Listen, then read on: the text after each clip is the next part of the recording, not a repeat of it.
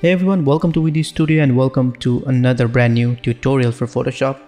In this video, we'll be creating a simple text design and if you guys are new to this channel, please do subscribe my channel. So with that note, let's submit the video. Here we are in Photoshop and first thing first, let's create a composition. So for that, go to File, click on New and as always, I'm going for 1350, 1080, 300 resolution RGB color mode 16 bit and just keep the rest as default and click on create. Now let's uh, create a new solid.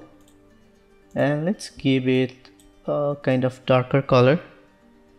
Maybe something like that. And now let's create a text. So that's our main topic. Click on text. And let's say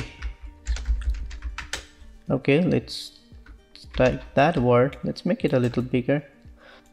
And maybe let's change the font to yep maybe I'll just use that font for now. Now let's make a copy just for safety so control J. And let's turn up the visibility for the copy layer. And select the main text layer right click and let's rasterize the layer. So now it's converted into a layer.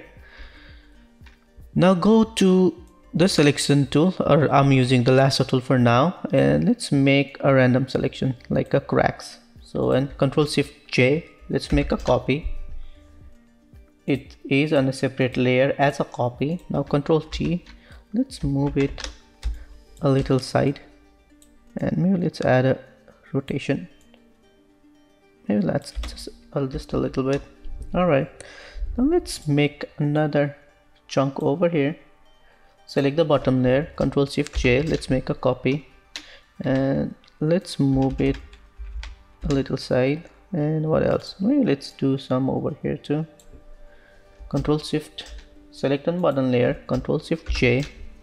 And let's move it a little bit. Let's maybe let's add some rotation. And let's do the same thing over here too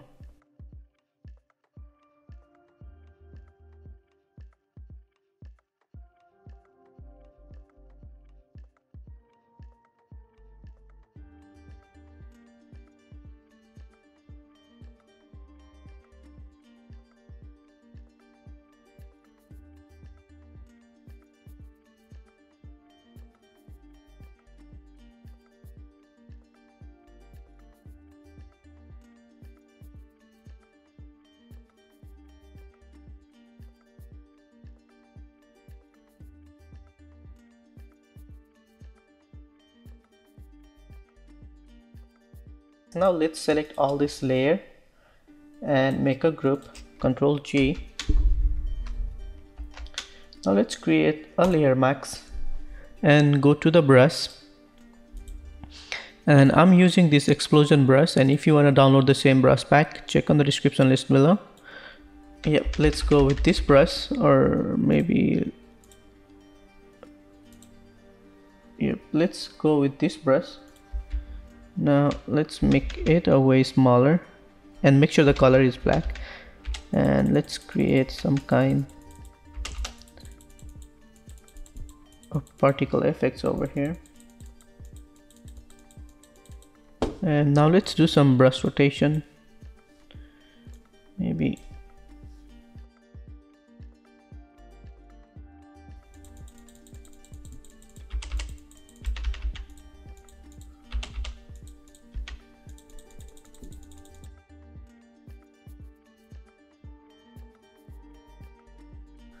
and let's do one more rotation.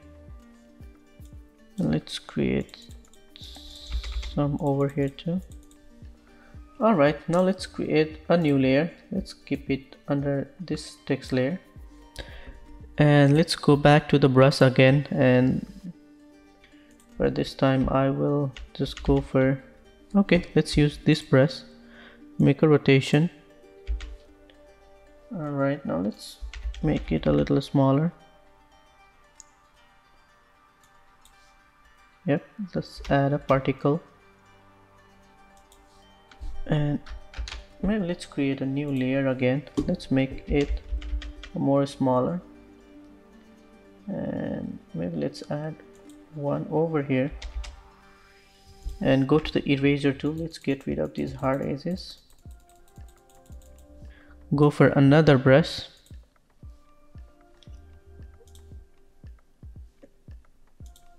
yep maybe like this one. Let's make it a little smaller. And let's add a rotation.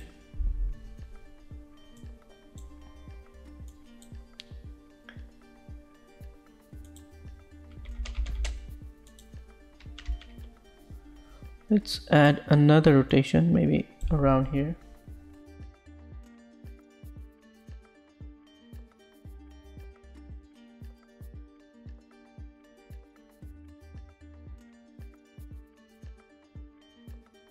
now select all these layers and let's keep it inside a group. So we know it's a text. Control T let's make it a little smaller maybe somewhere around that side alright now let's uh, drag and drop this image over here.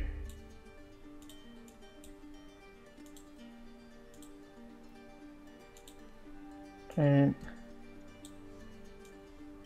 over here okay now let's minimize this for now and let's change the blending mode to screen. Control T. Control T let's make it a little smaller and let's keep it somewhere over here. And then let's add another uh, image. So let's see which one. Okay let's drag and uh, drop this image over here. Yes. Let's minimize this for now. Control T let's make it a little bit smaller. Let's change the blending mode to screen to control T. Let's make it a little smaller. Let's keep it maybe somewhere over here. And control L and let's make it a little darker just to get rid of these edges. And control J let's make a copy. Control T let's make it a little smaller. Let's keep it maybe one more over here. Let's drag and drop this image over here. And let's keep it under the text. Control T let's make it a way smaller yep maybe let's keep it somewhere over here.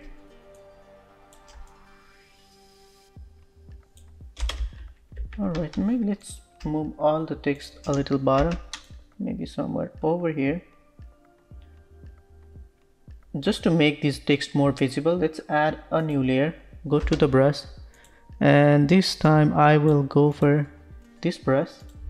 And let's make the brush a little dark yep something like that. See? Now let's drop down the opacity a little bit. Maybe it's too much. Let's create a one more layer and let's add a brush rotation. So and let's add another brush strokes. Yep. All right. Now let's uh, drag and drop this main cloud image over here. Let's keep it as a background so let's drag and drop over here. Click yes. And let's move this below this layer. Control T let's make it a little bigger. And these clouds are too bright for me. Let's create a curve. Click on this icon to make it clip to layer. And let's drop down let's make it a little darker and maybe drop down the highlights too. More darker.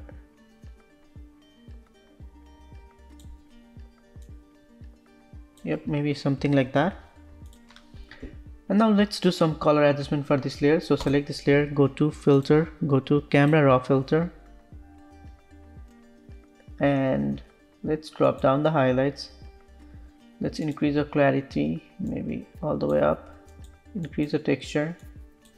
Go to the detail tab and increase the noise reduction. Increase a little bit of sharpening. Increase the color noise reduction too.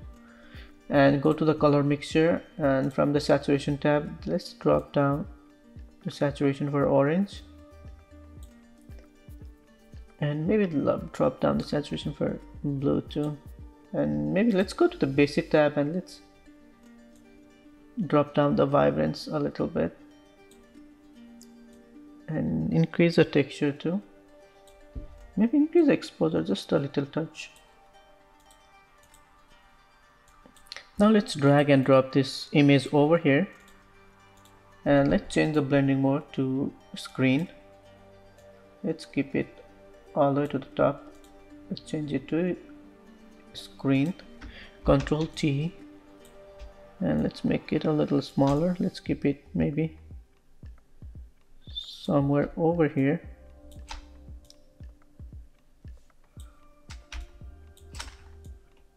Alright and now let's create a new layer. Right click create a clipping mask go to the brush and let's go for a general brush a soft brush.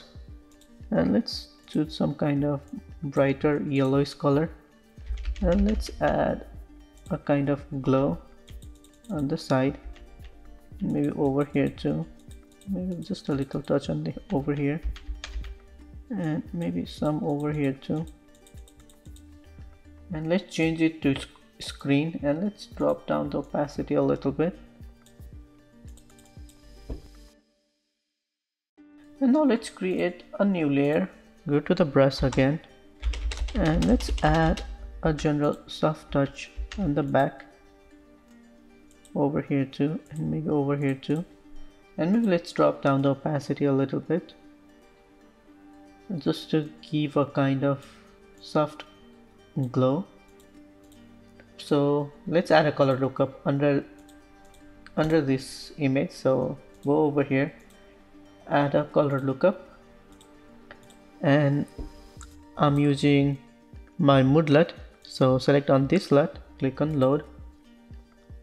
Maybe let's do some color adjustment. So go over here add a color balance and let's drop down the red. Maybe let's increase a green a little bit.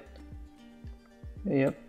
And maybe let's drop let's go more toward the yellowish tone. So yep something like that. And let's go to the shadows and uh, let's drop down the red a little bit.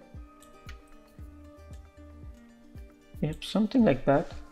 And let's select this layer control L. And I want to get rid of these hard edges so just make it a little darker. Alright now let's add a shape. Go over here add a custom shape. And again let's use the same same shapes as arrow. Select and let's draw it. And let's change it to pure white. And let's keep it under the main image. Okay control G. Let's make a rotation. Create a layer mask. Go to brush. And let's go for the same explosion brush yep like this one. And let's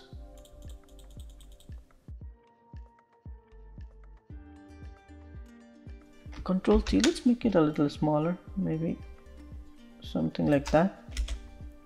Now let's make a copy control J control T. Let's make it a way bigger. And maybe let's drop down the opacity. Just a little touch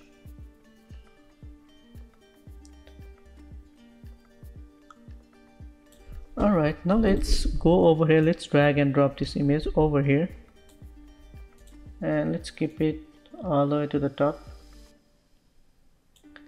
And let's change the blending mode to screen. Control T. Let's make it a little smaller. And let's drop down the opacity a little bit.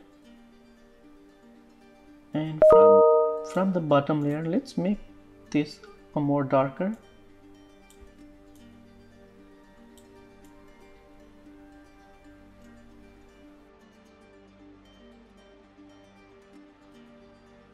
And let's change the blending mode to screen again. Control T and control L for label and just to get rid of these hard edges let's make it a more darker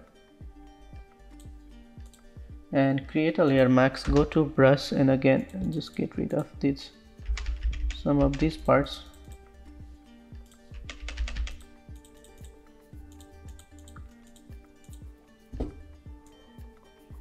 Now let's add some text.